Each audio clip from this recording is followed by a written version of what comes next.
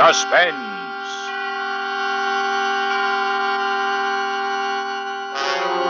Radio's outstanding theater of thrills brings you an hour, a full 60 minutes of suspense. Tonight, starring Eddie Bracken and featuring William Conrad in Nightmare, based on the short story by William Irish, directed by Anton M. Leader and produced by Robert Montgomery.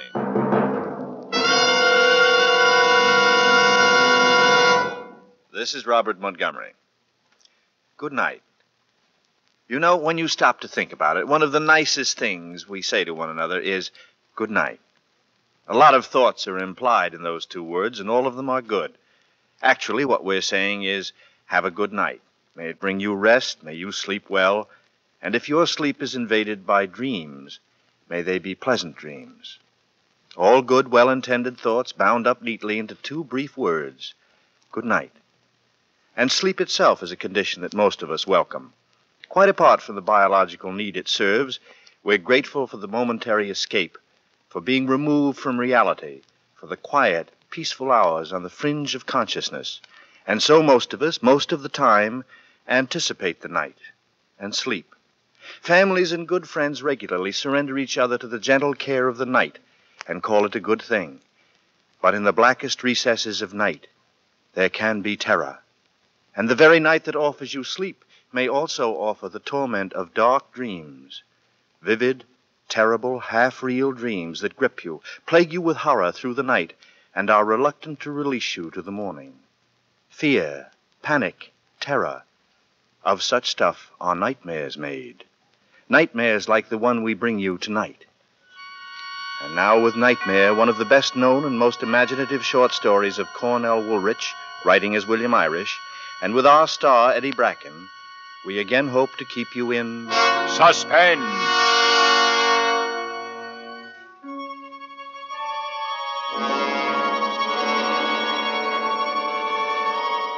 First, all I could see was this beautiful face. This beautiful girl's face, like a white luminous mask swimming detachedly against enfolding darkness. There was no danger yet, but I wanted to get out of wherever this was. There was eight doors in the room with no free wall space between. I tried one, another, a third. They were the wrong ones. I couldn't get out.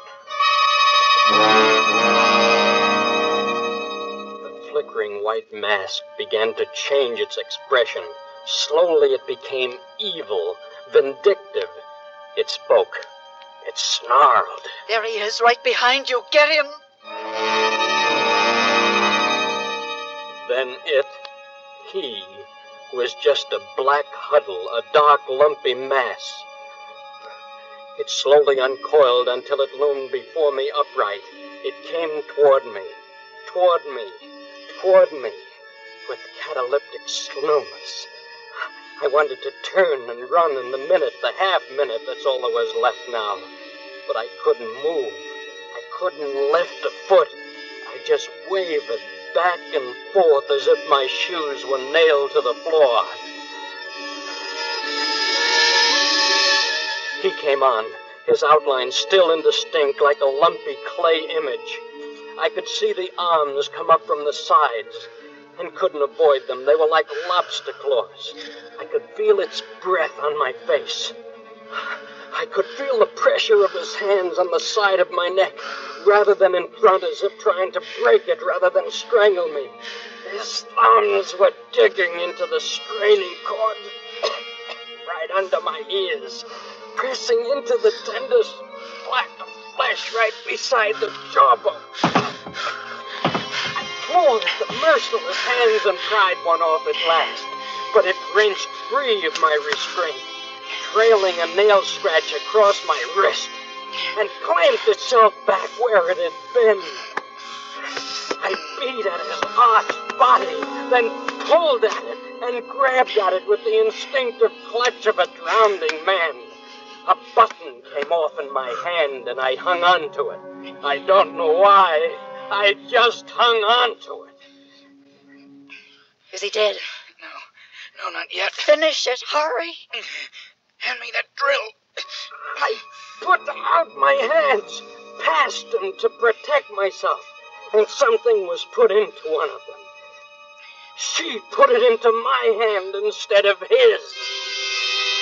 I fixed my hand on a tight, lifted my arm, and drove it into him from the back.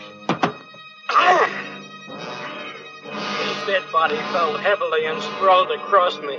It took almost a minute for me to push it away. Is it done? Did you kill him? When I stood up, she saw me. Then she disappeared as though swallowed by a shroud. I hurried. I heard a door closed and turned to see which one she'd used to get out, that I might remember and find my way out. But I was too late. When I turned, she was gone, and all the doors looked alike again. I was alone with the dead body.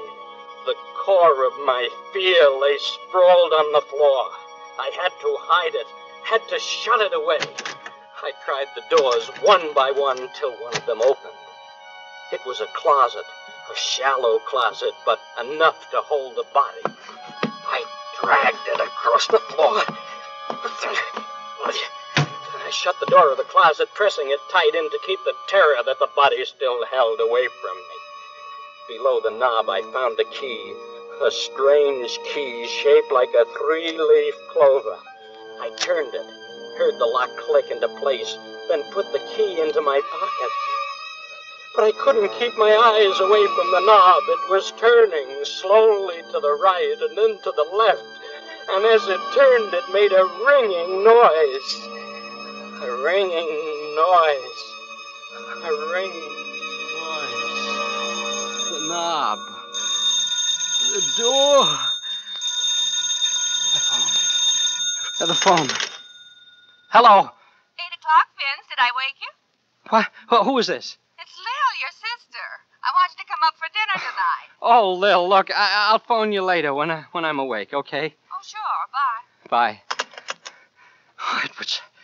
It was a dream. It was all a dream.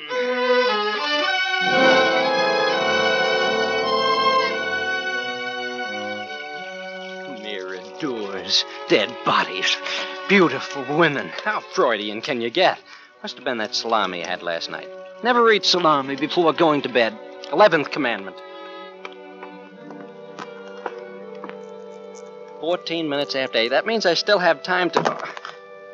I stood staring stupidly at my wrist. There was a deep scratch on my wrist. For a minute I was startled, then I realized what must have happened. I scratched myself in my sleep, and the details entered into my dream. Yeah, that's what must have happened. I dropped my watch and it was broken, but it didn't matter. It was a cheap one. I continued dressing. I chose a blue tie, threw up the collar, drew the tie lane through, and folded it again. Part of my mind was getting ready to get frightened, but I held onto it steady like I held the collar. In the mirror, I could see them. The bruises on my throat, brownish purple marks which hadn't been there when I went to bed the night before.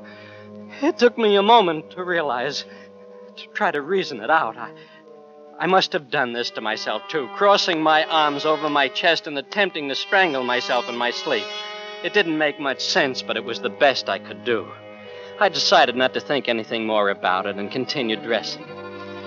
When I when I had my jacket on, I put my hand in my change pocket and took what was in it to check car fare and lunch money. A button mixed in with the change. A button that didn't belong to any suit or coat I owned. I closed my hand over it and I. It had the feel, the shape. There was no doubt about it in my mind. It was the button from the dream. I rushed to the closet, checked every last thing I had. The button matched nothing. It wasn't from anything of mine. It didn't belong anywhere. I couldn't kid myself anymore. People don't find buttons in dreams. I decided I needed a cup of coffee. I was getting the jitters. I slipped into my topcoat and opened the door. Then, before I shut it, I checked to make sure I had my key. The key I took out of my pocket wasn't my key. It was shaped like a three leaf Clover. My knees were weak. My stomach was quivering. But I couldn't go back into the room. I had to see people, hear cars in the streets. But it didn't help. All was real. Nothing was wrong. It was me, something in me. I ducked into a drugstore, but I couldn't eat. Instead, I went to the phone booth and called my sister Lil.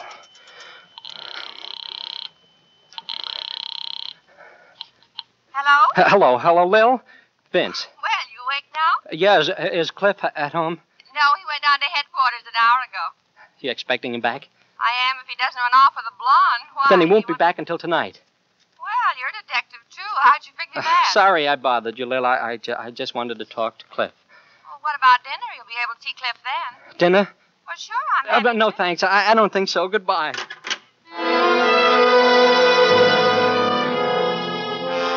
I called the store and told them I was sick. Then I walked all day in the sunshine. Wherever the sun was brightest, I sought and stayed in that place. And when it moved, I moved with it. I couldn't get it bright enough or strong enough, yet it didn't seem to warm me. At about six o'clock, I found myself in front of Cliff's house. The lights were on inside, and I could see Cliff. No, it was Lil moving around, setting the table, preparing dinner. That meant Cliff wasn't home yet. I waited outside. Well, what's the matter, Huh? kid? Are you afraid to ring the bell? Oh, Cliff, I didn't hear you coming. Well, are we going in or are we going to stay out here? Ah, I'm hungry. Cliff, I gotta talk to you. Something crazy happened to me. Well, can I wait an hour? I've had a long, hard day at the office. Is that you, Cliff? Yeah, honey. Well, I thought I heard you talking. Is someone with you? Now, Vince. Oh, you said you weren't coming, Vince. Well, I. I... Oh, never mind. The chickens will do for three. Come on in. Well, that's Lil, and there's nothing you can do about it. I hadn't eaten all day, and I hardly touched the food she served. I couldn't wait to get Cliff alone and tell him what happened. Detective should be able to help me. Well, I'll just finish up the dishes and then I'll be back. Get your hat, Cliff. What? I've got to talk to you. Alone. Oh, well, sure, kid. Uh, Lil, Vince and I are going to stretch our legs. Be back in a couple of minutes. Now, Cliff, only beer. okay, okay.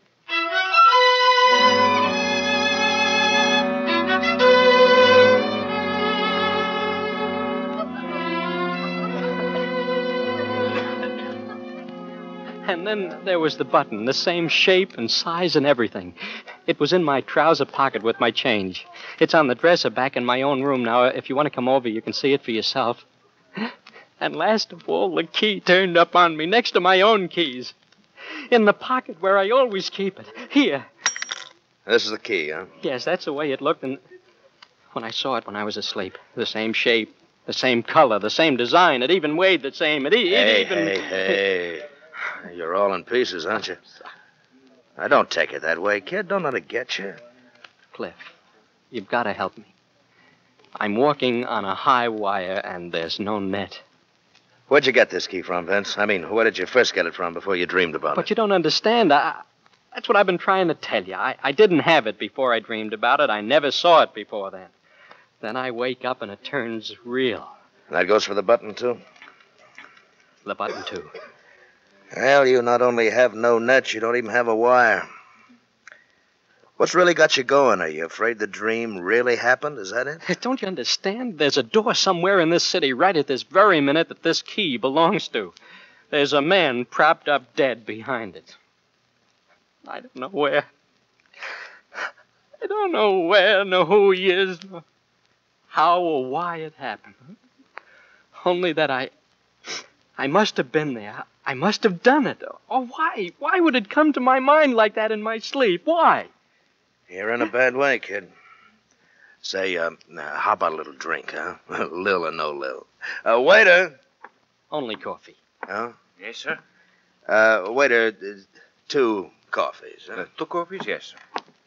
When the coffee came, Cliff started questioning me. And the man, the fellow, whoever he was. No, I, I couldn't seem to see his face through the whole thing. I only saw it at the very end after it was already too late.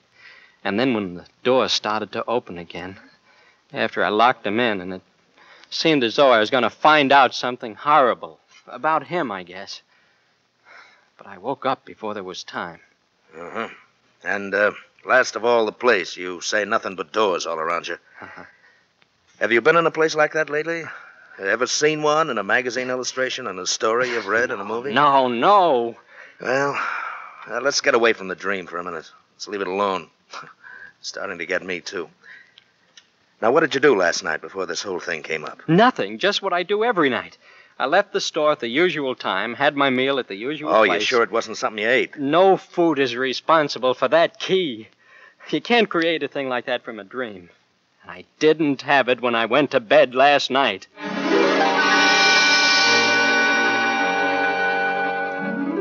Cliff didn't lose his temper right away.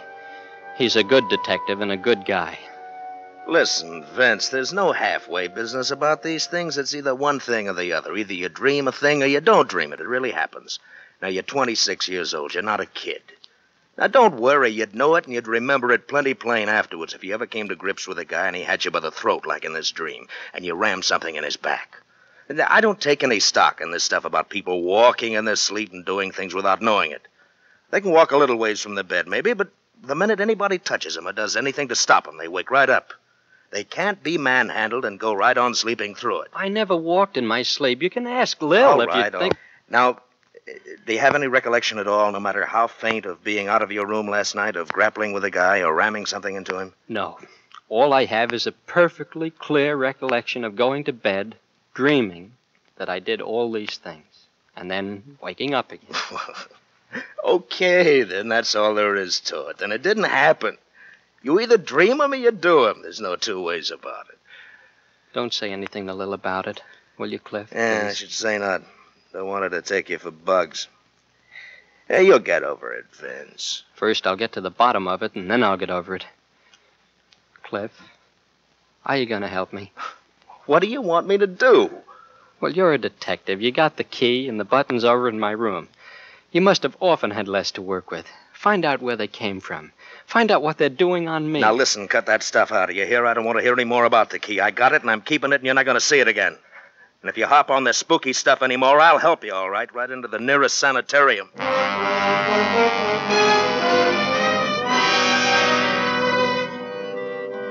I was on my own, just like before I had been there. Me and my shadows. Next day, I phoned the store and told them I still wasn't feeling well. Then, well, I stopped in at a newspaper advertising bureau and composed an ad. Classified? Uh, yes, real estate. This the entire copy? Uh huh. Check it with me, see if it's correct, please. Wanted, I am interested in inspecting with a view toward leasing or buying a house with an octagonal mirror paneled room or alcove, period. Location, size, and all other details of secondary importance, provided it has this one essential feature desired for reasons of a sentimental nature, period. Communicate Box L World Express giving exact details, period. Is that everything you want to say, sir? Uh, yes, I, I believe so. How long you want it to run? Uh, a week. Should hear something in that time, shouldn't I? Should. Lady once advertised for an alligator that answered to the name of Lulu, and she got it in four days.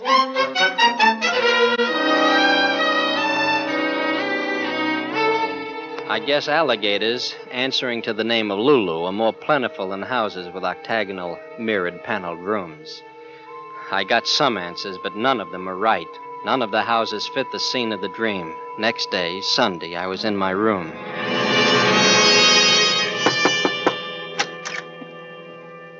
Hiya, kid. Hello, Cliff. What are you dressed for? Well, matter of fact, Lil and I are going to take a ride out in the country for the day, and she packed a lunch for three cold beer, ham, and turkey Listen, sandwiches. I'm all right. I don't need fresh air jaunts to get rid of the devils, if that's the strategy you're Oh, trying to. no, kid. You see, I got this new second-hand Chevy in exchange for my old second-hand Chevy, and I thought that maybe you'd like In the end, I decided to go with them on their picnic. Cliff was right. There was no point sitting around brooding and waiting for something to happen. I might as well forget it for a few hours, if I could. After our picnic lunch, I was almost beginning to relax. Have another sandwich, Cliff? Oh, why? I'll think of a reason later. you have just talked me into it, my dear. Just toss it over, huh? How about you, Vince? If I had another sandwich, Lil, I'd never be able to move another muscle. Where are we, anyhow? I don't know. Ask the pilot. He got us here. Mm, so help me, I was flying blind. Well, here's a weather report just came in, friends. Rain, and soon. Well, how, well, how soon do you think, Finn? Right now. Uh-oh. Come on, get the stuff into the car. Oh, I'm getting uh, soaked. Vince, you take the blanket, I got the baskets, Oh, huh? hurry up or we'll float back to town.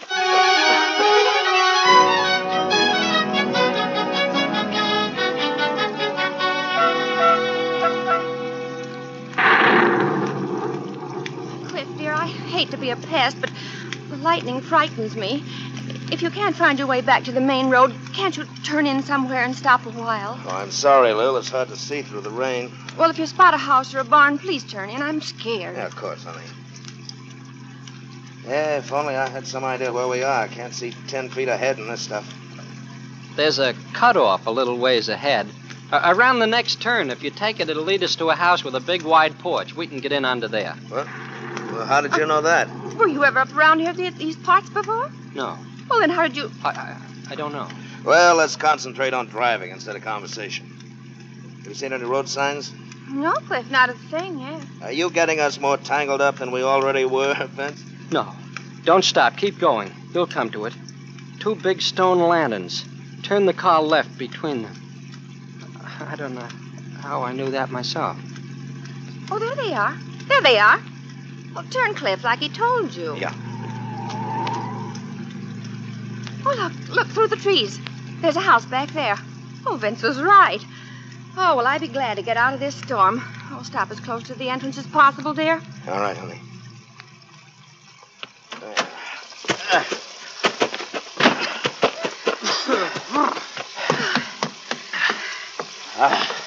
Well, it's dry here, but I wish we could get in and away from that lightning. Oh, try the doorbell, Cliff. Okay.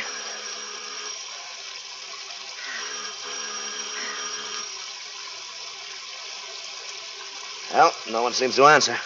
There's a key under the window box with the geraniums. Oh, he's kidding, but look anyway, Cliff. Okay. Oh, isn't that the funniest? Look.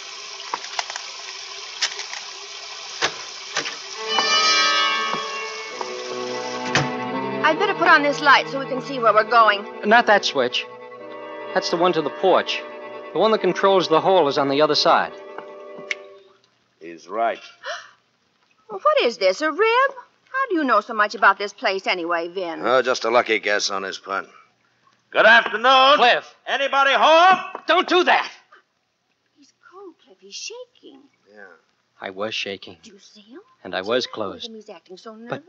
But I was dripping with perspiration. I didn't know what made me say those things about the road and the key and the light switches, but they came out as though I had been here before. I was scared. Away for the summer, I guess. But it's funny they'd leave it unlocked like that. With the electricity still unconnected. Oh, your being a detective comes in handy, Cliff. we shouldn't get in trouble walking in like this. Well, as long as we're here, I don't think anybody would mind if we made some coffee. I'd love some. How about you, Cliff? Sure. Go ahead.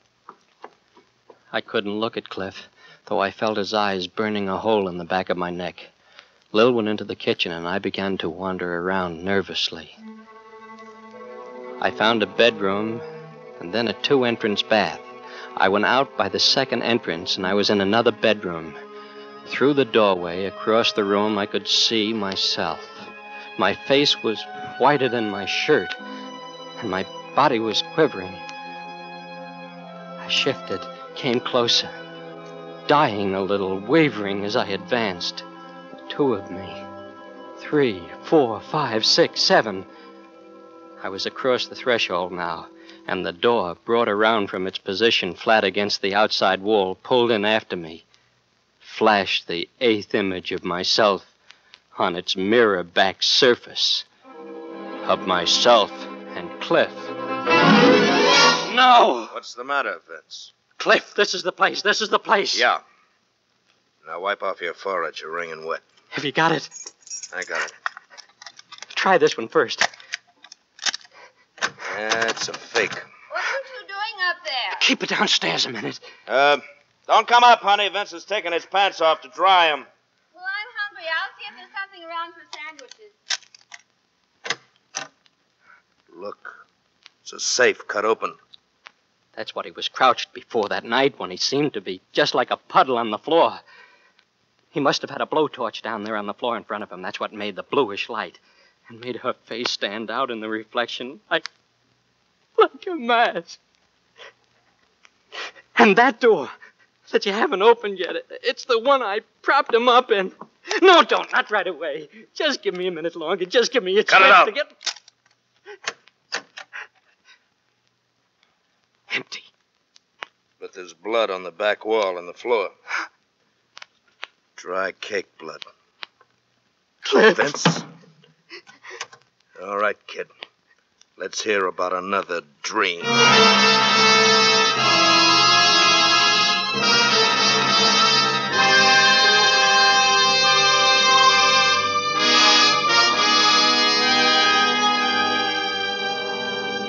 In tonight's full hour of suspense, Eddie Bracken appears as Vince in Nightmare by William Irish. Tonight's study in suspense.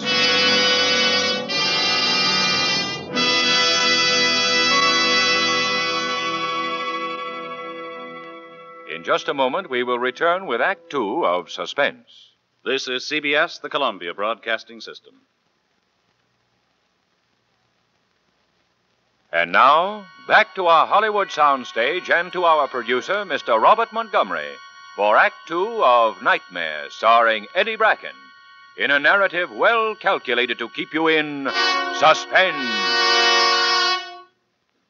It had all belonged to Vince until now. A wild dream heightened by young imagination. It was his alone. Awful as it was, it all belonged to him. But he had shared his nightmare with Cliff, and Cliff is a detective. He'd never once believed Vince. He told him he was cockeyed, that it couldn't be true. But there they are, the two of them, in a deserted house with which Vince seems quite familiar, although he swears he's never been there.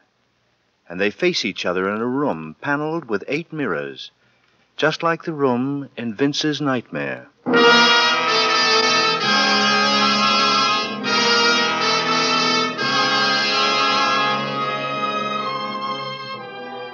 I don't know what Cliff would have done up there in the mirrored alcove, but I blessed my sister when she called us down for coffee. Cliff and I went through the motions of eating with Lil and then waited tensely until she dozed off in the living room, tired out of the excitement of the storm. Then Cliff pushed me back into the kitchen and shut the door. He gave me a look that belonged in a police station basement and lit a cigarette. He didn't offer me one. Policemen don't with their suspects. He bounced the match down, then he shoved his hands deep in his pockets. Now make it short and make it quick and leave Freud out of it. You think I lied, don't you? You knew which cutoff to take that would get us here from a dream, didn't you? You knew about the stone lanterns at the entrance from a dream, didn't you? You knew where the key to the front door was cached from a dream. You knew which was the front porch switch and which was the hall from a dream. Well, you know what I'd do to you if you weren't Lil's brother? I'd push your lying face right through the back of your head. Cliff. You came to me for help, didn't you? But you didn't have guts enough to come clean. I can respect a guy no matter what he's done if he'll own up to it, make a clean breast of it. I can even understand and make allowances for a guy that'll deny it flatly, lie about it. That's only human nature. But a guy that'll come to somebody trading on the fact that he's married to his sister and he knows he'll give him an ear, making a fool out of him, like you did me. Well, I've got no use for him. He's low and lousy and no good. Look, I found this key in my pocket when I got up this morning. How did it get there? Look, I found this button. Well, some dream, wasn't it, all right? All the dream's over and baby's awake now. And we're going to start in from scratch, right here in this place, you and me, and I'm going to get the facts out of you. Whether they go any further than me or not, that's my business, but at least I'm going to get them. Don't hit me, Cliff. Please. Now, what were you doing at that place? Huh? What brought you here? I was never here before. I never saw it until I came here today with you and Lil. Who was the guy you did it to? What was his name? I don't know, I tell you. I don't know. Are you going to answer me, Vince? You going to answer me? I can't. You're asking me things I can't. Answer me when I ask you a question. I can't. I don't know. I don't know. You're not going to get away with this, kid. I've handled closed-mouth guys before, and I...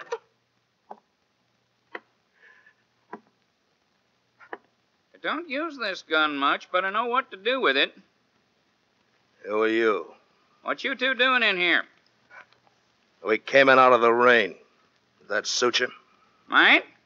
Might not. Identify yourselves. And hurry up about it. Look inside the wallet. Where you going? For a drink of water. Left tap. Right one's hot water. Thanks. Uh, Cliff Dodge, Homicide Squad. Glad to know you, Dodge.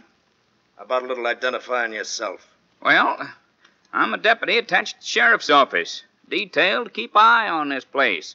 See my badge? I was to home having a little supper and. Hey, how'd you get in? Thought I had it all locked up safe and sound. The key was bedded in a flower box on the porch. Twas, huh? Must be a spare then. Funny. We never knew there was a second one ourselves. Why should this house be your particular concern? Was a murder uncovered in it last week. There No. was? Well, I'd like to hear about it. All about it. We all sat down. I saw the deputy was enjoying this, talking shop with a big city detective. Cliff listened while he kept an eye on me. Well, this house belonged to a wealthy couple named Fleming. Husband was away on business in South America when it happened. In fact, we ain't been able to reach him to notify him yet. Wife was a purty little thing. Was? Yep, real purty. Flirty, too. Used to fool around with a friend of her husband's uh, named Ayers, Dan Ayers. Well, that morning, the milkman saw a bundle of rags by the side of the road not far from here. 'Twas little Miss Fleming, all covered with dew and leaves and twigs. Dead? Dying. She must have dragged herself along the ground for hours, too weak to yell for help. Milkman took her to the hospital. Both legs broken, skull fracture, internal injuries. Oh, no. Hey, kind of gets this young feller, don't it? Stuff's new to him, guess. What was it? Who did it to the woman? Dan Ayers' car.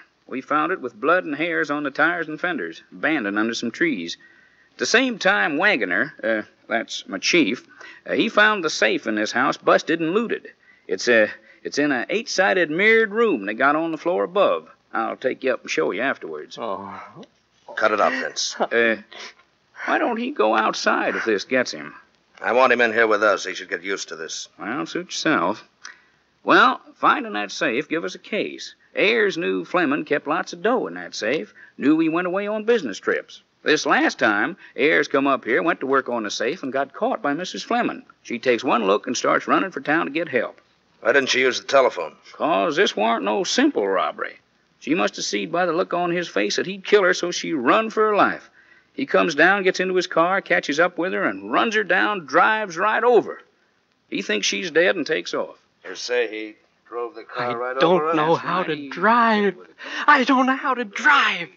Cliff knew it too. His expression changed, and he pushed his pack of cigarettes over to me. Uh, have a smoke, kid. It'll do you good. Thanks. Well, we sent out a general alarm for Ayers, but at five that afternoon, Mrs. Fleming regained consciousness for a short time.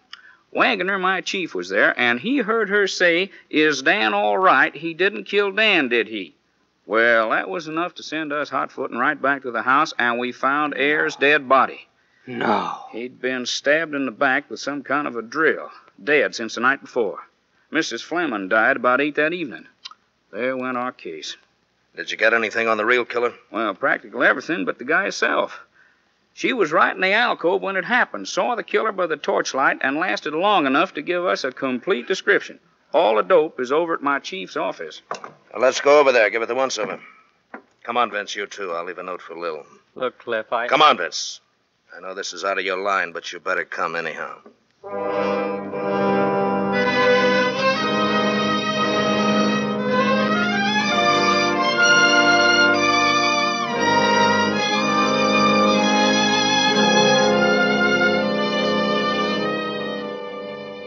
Glad you come over, Mr. Dodge. You too, Mr. Hardy. I'm interested in hearing the description of the killer. Well, it's pretty complete. I got it from Mrs. Fleming. Here's a transcription of my whole interview with her at the hospital. Had a stenographer take it down at her bedside. Uh-huh. He was one of those efficient young sheriffs, and he droned on and on. My clothes became drenched with perspiration, and my stomach was quivering again. Still there's body. Ah, well, here's what you want, Dodge. Uh, killer was about 25 and skinny. Cheekbones stood out, cast shadows in the torchlight as it wavered on his face. Uh-huh. Had They a must be looking at me. I covered my cheeks with my hands and stared down at the floor. My face was burning under my fingers. Had light brown hair. She even remembered that. It was parted low on the left side. Take a woman to notice a thing like that, even at such a moment. And uh, an unusually long forelock that kept falling in front of his face. She My hand went up a little higher and brushed mine back. It only fell down again like it And, uh, always did. His eyes were fixed and glassy, as though he was mentally unbalanced.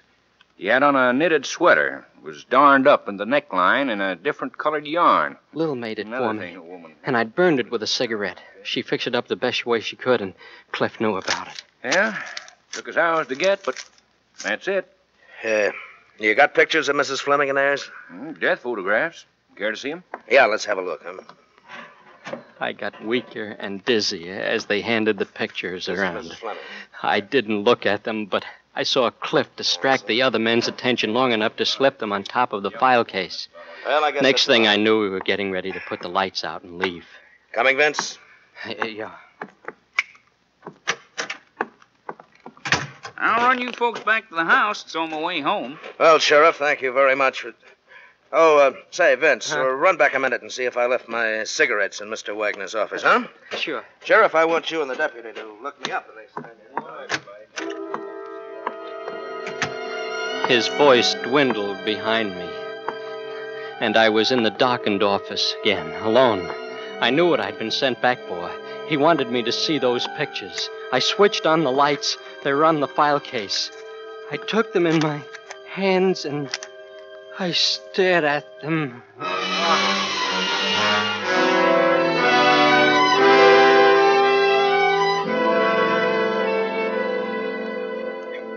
Well, out like a light. Now, what did it, you suppose? The pictures? Uh, he's not well. He's under treatment by a doctor right now. He gets these dizzy spells now and then. That's all it is. Here you are, kid. Drink this water. Yes. Now, shut up and don't say anything. You'll be all right. Uh, I'm sorry for all the trouble we've caused. Perfectly all right. Come back anytime.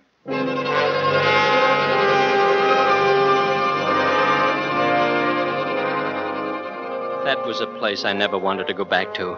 Cliff and I didn't say much as the deputy drove us to the house. We picked up Lil and started back to town.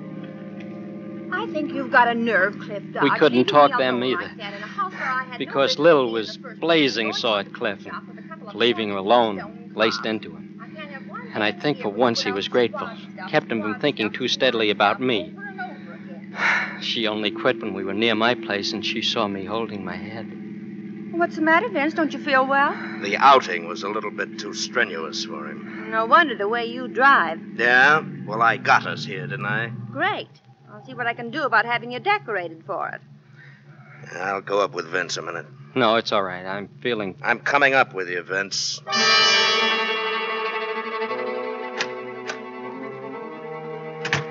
He closed the door to my room behind us and then turned to me. He spoke low and very undramatically. No fireworks. Lil's waiting downstairs. I'm going to take her home first before I do anything. I love Lil. It's bad enough what this is going to do to her when she finds out. I'm going to see she gets at least one good night's sleep before she does. Cliff. Cliff. Run out. That's the best thing you can do. Meet your finish on the hoof somewhere else where your sister and I don't have to see it happen. And if you're still here when I come back, I'm going to arrest you for the murder of Dan Ayers and Dorothy Fleming. I don't have to ask you if you killed those two people. You fainted dead on the floor when you saw their pictures. Now take my advice and don't be here when I get back. I'll turn in my information at my own precinct house and they can pass it on to Wagner. Then I'll hand over my own badge in the morning. Cliff. I- I'm frightened. Killers always are. Afterwards. Don't forget you got a half hour.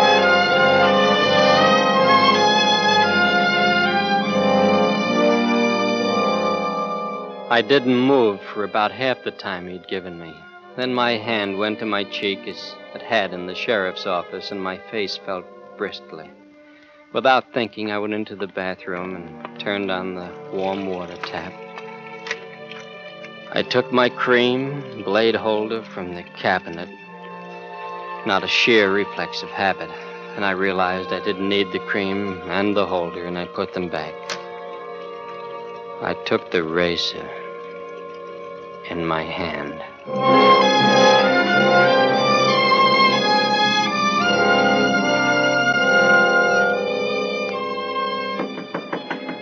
I was seeing black spots in front of my eyes when he tried to get in the door.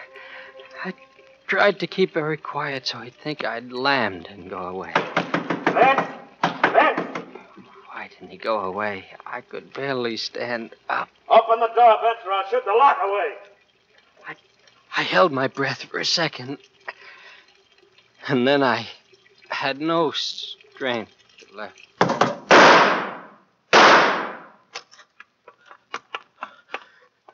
Vince. You could have saved yourself a trip back, Cliff.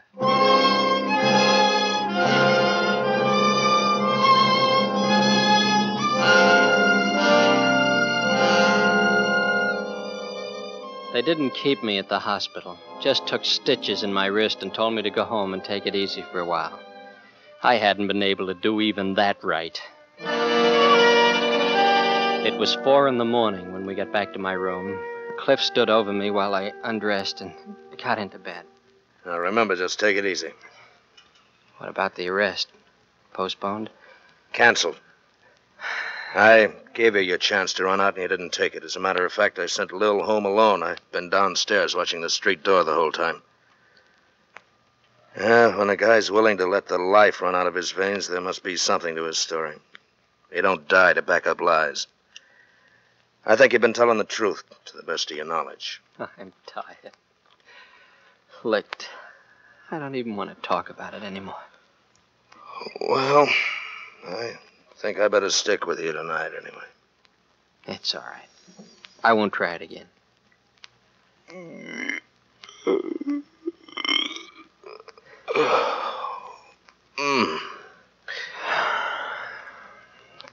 Yeah, there's blood on the floor. You sure picked a messy way. I did think of gas. This hotel doesn't have it. If more houses had no gas, there'd be fewer. Sure. All the modern conveniences. But electricity is undependable, too. Lights go out. Happened to a feller in the next room one night. And he had to use a candle. It was the same night that I had the dream. How did you know he had to use a candle? Were you in there at the time? No, he rapped and stuck his head in my door for a minute. Wanted to know if the power had failed all over. You know how people are in little hotels like this. Why'd he have to do that? Couldn't he tell by the hall? All lights go out at 11.30. Guess it was after that. Well, that's still no reason why he should bust in on you. Look, I'd like to hear the rest of this. There isn't any rest. I told you all there is to it. That's what you think. Just watch what I can get out of it.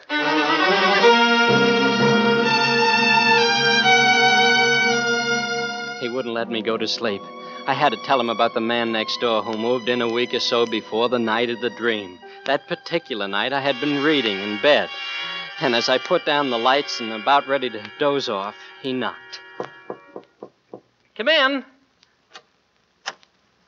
He was holding the candle right in front of his face between his eyes, and in the darkness I had to stare at the candlelight and his eyes behind it. He explained about the lights, and Please excuse me for intruding. You must be tired. Very tired. You look so sleepy. no, it- I know. It's it's You want to sleep. I shouldn't have come. You can sleep now. Sleep well. Your eyes are so heavy. You look so tired. That's all there was to it. He left, and I went to sleep. Did you hear him shut the door? Well, I suppose I don't so. mean suppose. I mean, did you actually hear the door shut? Think about it, kid. This is important.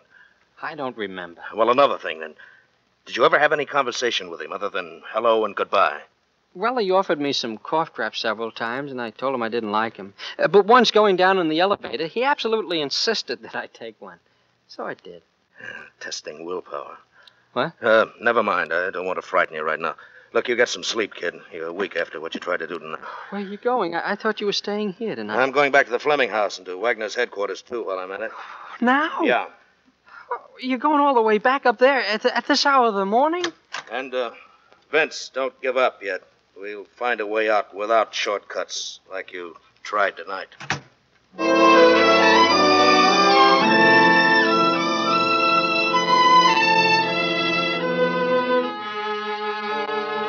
I didn't wake until noon, but I didn't dare leave the room for a cup of coffee. I didn't want to miss Cliff when he got back. About two, there was a knock on the door, and I almost fell over in my rush to open it. Cliff, I. I... Oh, excuse me. I... Sure, mister. Uh, say, are you Vincent Hardy? Yes. Well, I think I got what you want. What I want? Yeah, my Uncle Henry built it. He was crazy. It's got a room with eight sides. I'm terribly sorry, but I'm not in the market for that house any longer. You ain't? No. Oh, you're like Uncle Henry, too, huh? He would have liked you. Well, goodbye.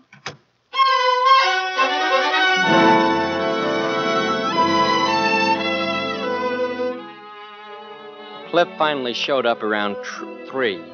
He looked terrible. He hadn't slept all night. He showed me a picture he'd brought. You know this guy, Vince? This guy? Well, the glasses are missing, and the mustache, and the hair isn't rumpled. Uh, but, Cliff, uh, uh, Yeah? this is the guy from next door. Where'd you get this picture? From Wagner. It's Mrs. Fleming's husband. They're both the same fellow? Right. But there's no out in it for you. I got that straight, kid. I checked the fingerprints Wagner got. They're yours. You and nobody but you went into the Fleming house, killed Ayers, and hid his body in the closet. No. But you didn't kill Dorothy Fleming because you can't drive. Now, somebody else did that in Ayers' car. Somebody who brought you up there and was waiting for you at a safe distance. But why didn't I know I was doing? Well, that'll come later. What we have to do now is prove that the circumstance of the drink could have happened. Get it down on record officially. That isn't perfect, but it's the best we can do. Well, what do you. I want? think it's better if you don't know too much. Uh, a telegram addressed to Mrs. Fleming was received from her husband while I was up there. He's arriving back from South America today. Where are we going? Where is the place you'd least rather go of all places right now? That. that room. That house. I'm sorry, kid, but that's the place you're going to have to go back to and stay in alone tonight if you ever want to get out from under the shadows again. Now, what do you say? Shall we make the try? Okay. I'm ready.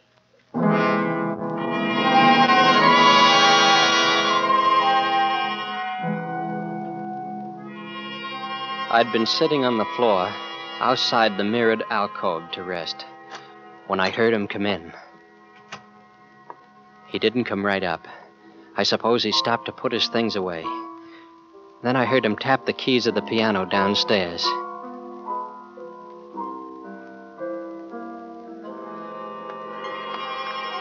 Then I heard his footsteps coming, and I pushed myself backwards along the floor into the alcove.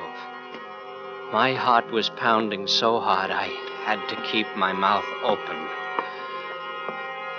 He was in the bedroom, opening suitcases, looking for things. I pushed myself into the closet where the body had been, and in a moment, he walked into the alcove and put on the lights. I could see him through the keyhole as he walked past the door. Then he stood still, turning to go. This was the time. Now. I held the gun tight and pushed the door open soundlessly. He heard me as I stepped into the room and whirled around. I wanted to yell at the top of my lungs at him. But I kept my lips together. Cliff had drilled me carefully on how I should act, what I should say. He'd particularly warned me to make Fleming talk first. How did you get here? You showed me the way, didn't you? You. You remembered coming here? Didn't think I would, did you? You couldn't have. Then how did I come back again? You explain it. How long have you been in here? Like. Like this? Since after dark. I got in before you came home. What'd you bring with you? Nobody. Just this, a 44 automatic. That's all the company I wanted with you. Uh-huh. Exactly how much do you remember? Much more than you think. you remember the drive up? You couldn't have. I told you to remember it only as a dream. You had the look. What look? I was holding a thumbtack pressed into the palm of each hand the whole way. Then why did you do everything that you were directed to do so passively? I thought there might be something in it for me later if anyone went to all that trouble. Purposely faked? I can't believe it. You didn't even draw back, show a sign when I let you out of the car. Put the knife in your hand, sent you on towards the house, told you how to get in, what to do. You mean you went ahead unconsciously? Sure, I figured you'd pay me off afterwards. Oh. Well, what went wrong inside? Well, I, I accidentally uh, dropped the knife you gave me. Ayers jumped me in the alcove. In the darkness, your wife put a drill into my hand instead of his. And I killed him in self defense. Yes. And she ran out. I had to go after her and stop her myself. I got her with Ayers' car. She never even saw me. That's what I wanted to know. Are you crazy? You must have known. No, I tricked you. You had me hypnotized that night, all right. But you've just convicted yourself out of your own mouth to me. I don't want to be paid off. You picked someone with a weak willpower, maybe, but strong scruples. I was an honest man. You made me commit murder. I can't clear myself in the eyes of the law ever. But you're going to pay for doing that to me now, this way. Wait. Don't do that. That won't help you any. You shouldn't have left me alone. That was your mistake. Here you go, Fleming. Wait. Wait one minute more. Just a minute. Now look. Look at me. Look at my eyes.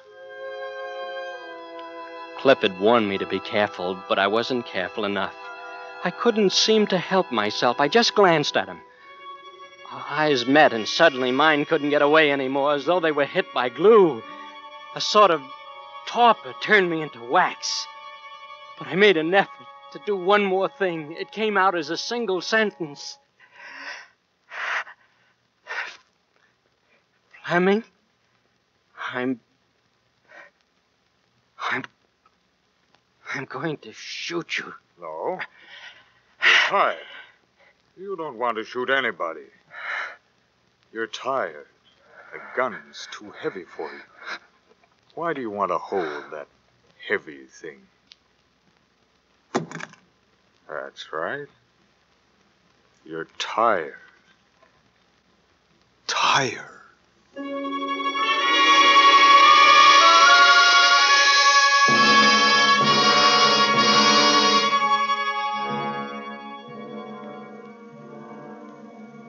Why, this'll stand up in any court. There's enough evidence on this wire recorder to send Fleming to the electric chair. Listen, listen. Huh? What's all that mumbling? I can't quite make out what this. Hey, we'd better get up there. Come on. Hey, Fleming must be trying to do. Holy smokes, he's getting away. Come on.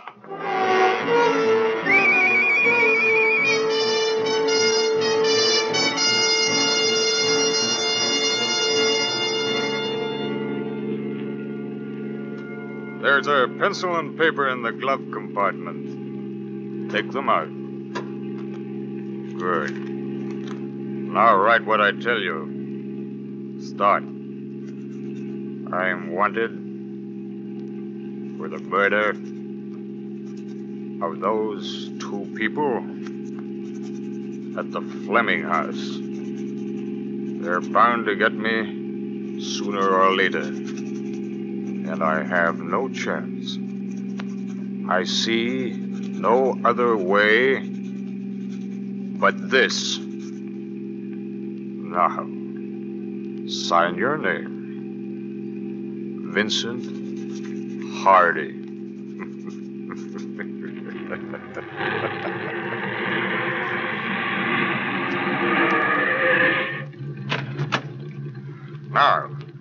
Get out of the car quickly and take the chain attached to that anchor. Over there. On your right, over there. Go ahead. That's right. Now tie it around your stomach and legs and pick up the anchor. Yes, that's it. Carry it in your hands. Yes, very good. Oh, someone coming. Now then, walk. Walk to the end of the dock. Hurry, you fool, and throw the anchor into the lake. Ahead. Hurry. Goodbye, Vincent.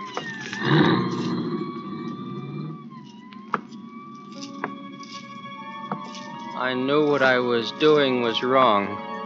I fought against it as hard as I could. And when I got to the end of the dock, I just threw the anchor into the lake and my body went tumbling.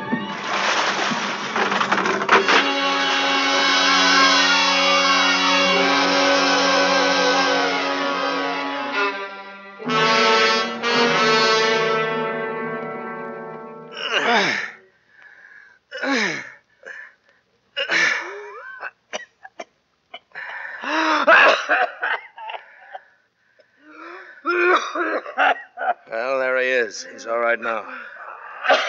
You get Fleming? Yeah, Fleming's dead, Mr. Dodge. Car hit a tree and folded up like an accordion. Uh, Vince would be gone, too, if I'd dosed another minute in that cellar. Yeah, don't feel bad. You did all right by the boy. You went in after him like a veteran lifeguard.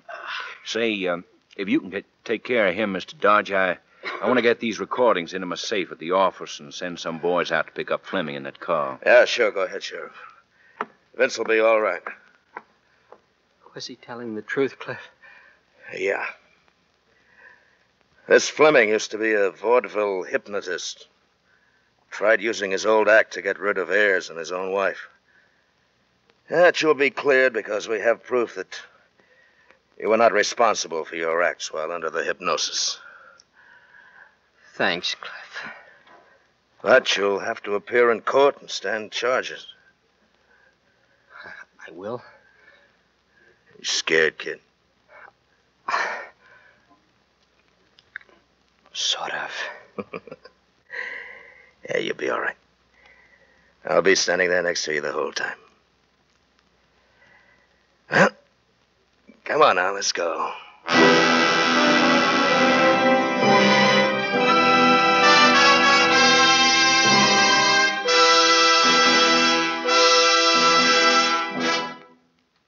This is Robert Montgomery. Our congratulations and thanks to Eddie Bracken and William Conrad for two fine performances in Nightmare. Next week, for suspense, we treat the subject of weather in a locale that is famous and infamous for its weather England.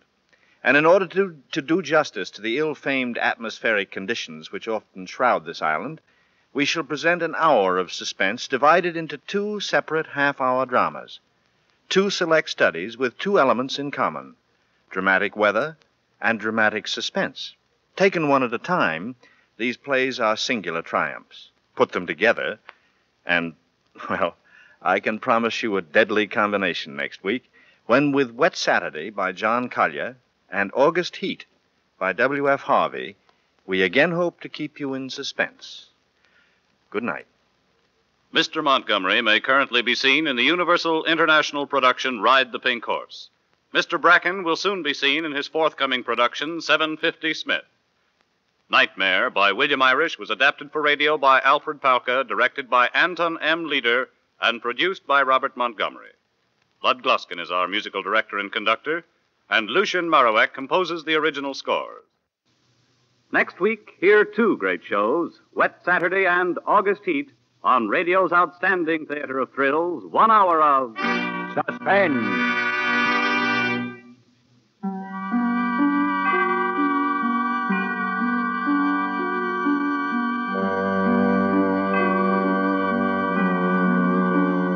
This is CBS, the Columbia Broadcasting System.